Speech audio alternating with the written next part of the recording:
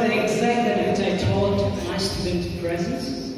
Anyway, they'll be singing and they'll be doing the action songs.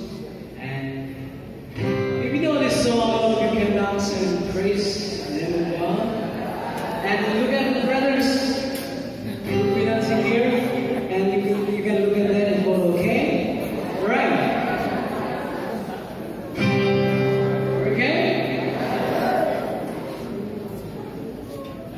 One, two,